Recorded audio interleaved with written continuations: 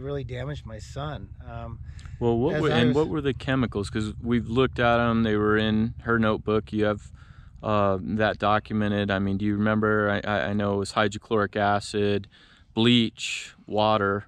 When you mix those, you get chlorine gas. Um, you make methyl chloride. I mean, and, this and is yeah, how you kill people in World War II. This is deadly stuff. There were other uh, chemicals on there too that um, yeah, they're serious. I mean, you definitely wouldn't want any child, let, let alone an adult, with uh, appropriate equipment around them. So I understand why that that's very upsetting. I mean, your son got harmed in that incident.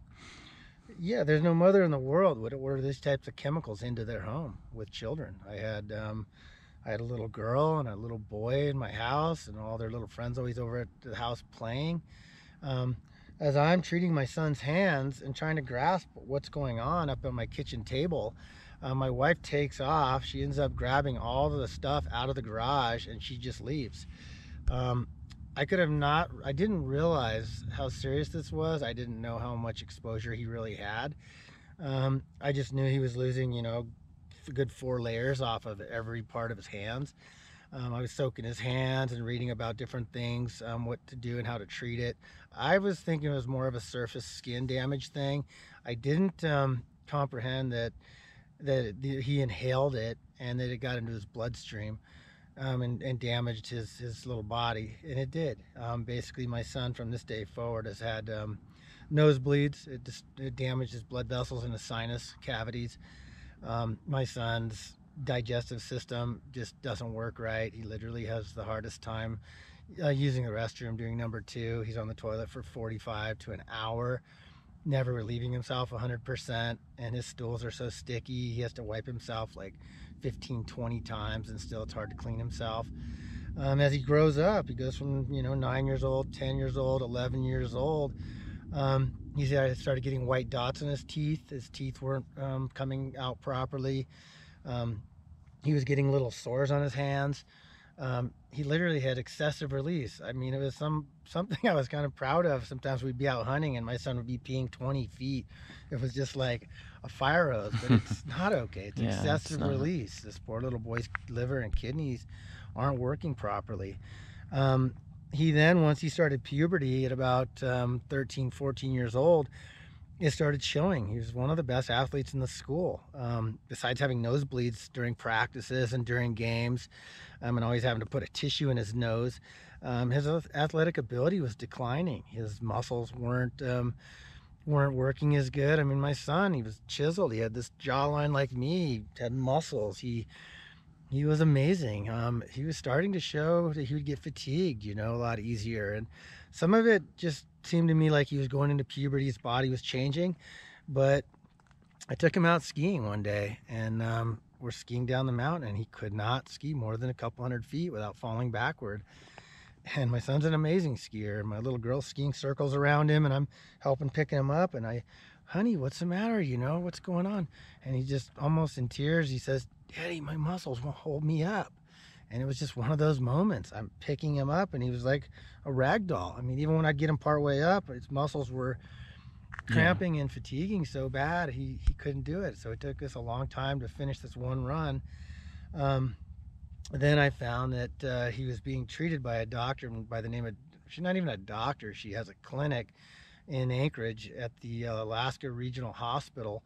Um, and her name's Christine Sagan. And um, I found out that she was, she was uh, seeing my son behind my back without my knowledge. And when I talked to her, I said, "Hey, what's going on? You you were seeing my son without my knowledge?" She's like, "What do you mean without your knowledge? Your wife told me when I asked her to do blood tests and when su suggesting some things about."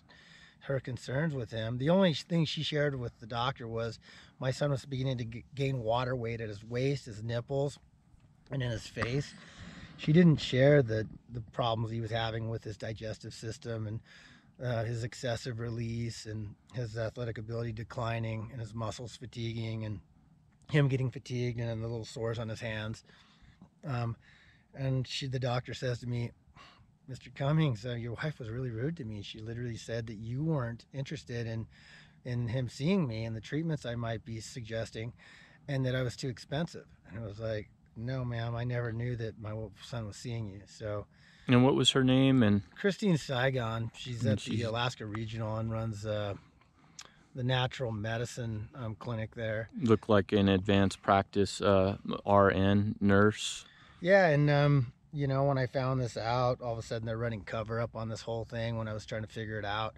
Um, literally, where they had an employee who was there who told me I couldn't get medical records on my children. Um, and literally, my wife was calling them all the time um, after she had um, done what she had done.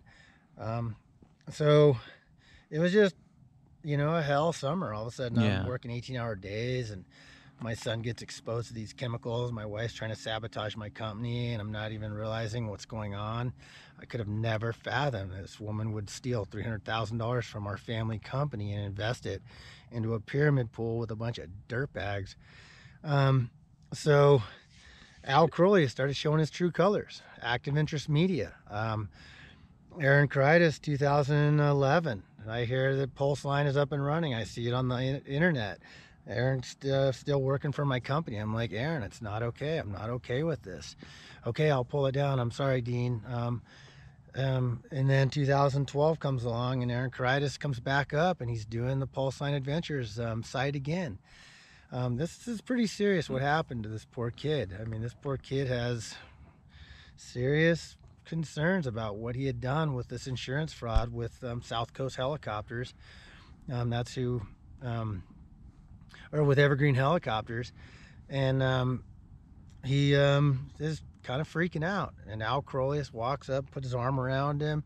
Look, I'll give you Dean's marketing contract and Ski and Skiing magazine. You can, you can have all this marketing. Um, Scott, uh, John Wilger, put his arm around Aaron Karitis, one of my big clients that used to buy privates.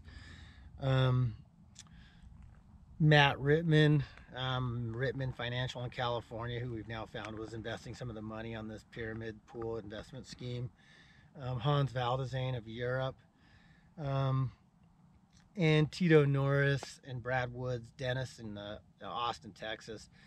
Basically, how it went was my wife was trying to give Aaron his out and trying to sabotage the company, trying to convince me to sell the company or close the doors.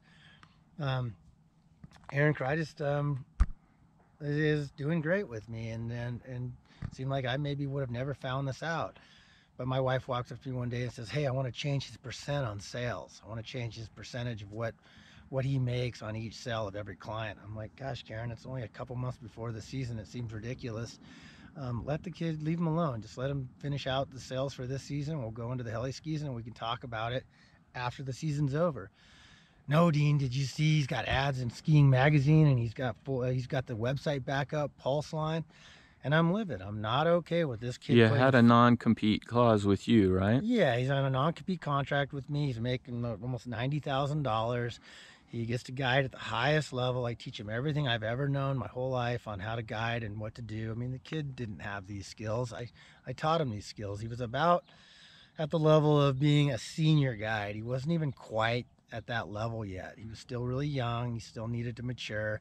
He still needed to learn a lot more about terrain management and glacier travel and how to identify snowpack stability. Um, so my wife tricks me into firing him. So she's like, "Look, Dean, he's got all this pulse line going on. He's flying his flag in front of the H2O guides flag." I call him up. I'm like, "Hey,